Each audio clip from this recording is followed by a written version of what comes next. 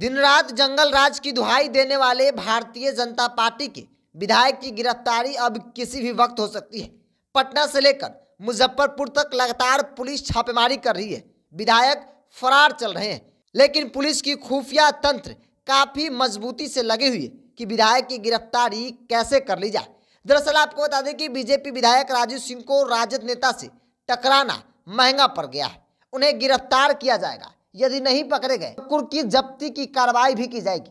राजद नेता तुलसी राय को अपहरण करने का आरोप साहेबगंज के विधायक राजू सिंह पर लगाया गया है। उनके ठिकाने पर शुक्रवार की रात छापेमारी हुई। इस बीच एक युवक को गिरफ़्तार भी किया गया है।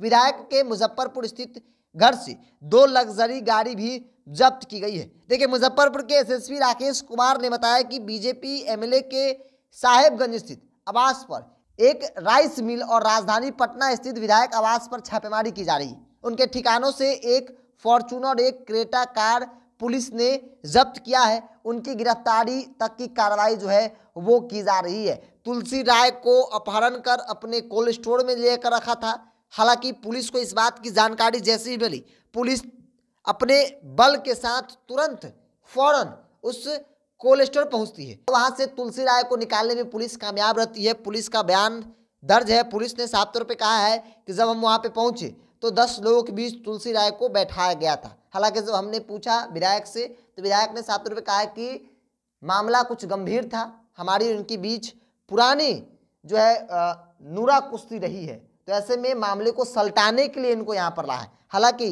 तुलसी राय का कहना है कि मुझे किडनैप किया गया। मुझे मारने की बात कही जा रही है। मुझे ये भी कहा जा रहा है कि बोरा में कसकर यहीं पे फेंक दिया जाएगा। और देखिए भाजपा विधायक की मुश्किलें बढ़ी नहीं रही है, बल्कि भाजपा विधायक घर छोड़कर फरार हो गए और पुलिस की जानकारी के अनुसार अब जो है, अगर गिरफ्तारी नहीं होती है तो फिर कुर्की जब्ती की प्रक्रिया भी तेज कर दी जाएगी। तो राजू सिंह पर कोई पहला आरोप इस तरह का नहीं लगा है। इससे पहले भी आपको याद होगा, साल 2019 में जब जेडीयू के पूर्व विधायक हुआ करते थे, दिल्ली में एक महिला को गोली लगी थी इनके बंदूक से। उस महिला की मौत हो गई, जिसके बाद राजू सिंह की गिरफ्तारी हुई और पुलिस ने उन्हें जेल तक भेज दिया था। अब हाल के दिनों में सीओ के साथ मारपीट, गाली गलौज का मामला सामने आया था, जहाँ अपने आवास पर राजू सिंह ने बुलाकर सीओ को गंदी गंदी गालियाँ दी, मारपीट किया, धमकी दी।